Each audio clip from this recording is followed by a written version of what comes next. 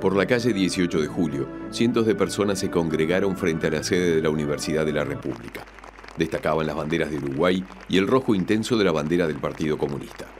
En la fachada del Audelar estaba centrada la imagen estancada en el tiempo de Eduardo Bleyer Horowitz, detenido en 1975 y asesinado por la dictadura en 1976.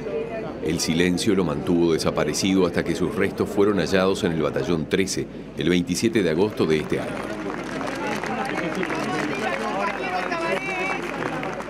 La llegada del presidente de la República dio inicio a la fase más protocolar del velatorio.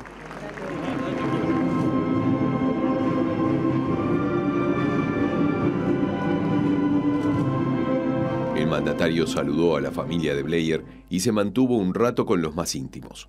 Luego escuchó el discurso oficial de parte de Felipe Michelini, coordinador del Grupo de Trabajo por Verdad y Justicia. Los responsables de secuestro, tortura, desaparición y muerte fueron muy valientes en el momento de torturar víctimas indefensas. Por el contrario, han demostrado una cobardía sin límites a la hora de enfrentar sus responsabilidades. La articulación de un pacto mafioso, la negación con la deformación de los hechos, el ocultamiento de la información y la construcción de la mentira sistemática en el abuso burdo de todas las garantías del proceso con el solo objeto de reducir sus responsabilidades en tan monstruosos hechos. Eduardo, te buscamos siempre. Rosa y Elena, movieron cielo y.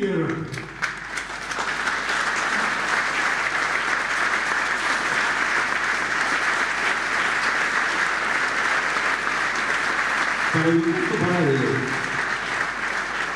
bienvenido a casa. Descansa en paz, a Kelly y Rosa, madre de tus hijos, a tus hermanas Julia, Aurelia y Elena. Nunca te fuiste. Siempre has estado y seguirás viviendo en tus nietos, en nuestro corazón, en nuestra lucha. ¡Viva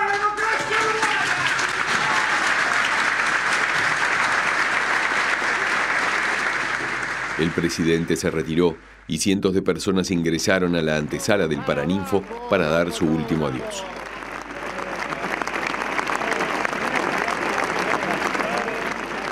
Cerca de las 3 de la tarde, los restos de Eduardo Bleyer fueron acompañados con aplausos y la emoción de sus familiares.